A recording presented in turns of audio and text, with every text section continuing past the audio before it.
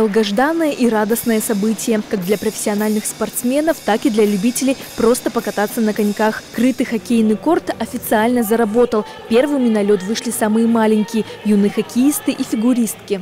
Мне тут очень нравится. Тут красиво, он большой.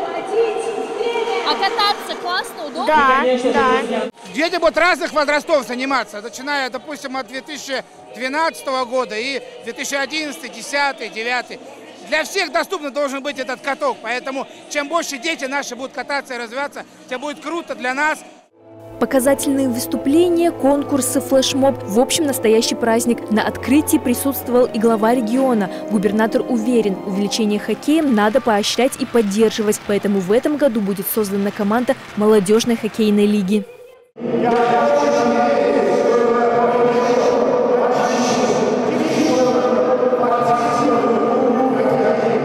Режим работы хоккейного корта будет размещен на сайте Центра учебно-спортивной подготовки. Заняться активным отдыхом и провести время в свое удовольствие сможет любой желающий. Главное – свериться с расписанием, ведь пустовать корт точно не будет. Также заработает пункт проката инвентаря. К слову, корт универсальный. Летом урманчане смогут заниматься в нем сезонным видом спорта. Элина Шагенова, Сергей Райсюк, ТВ 21+.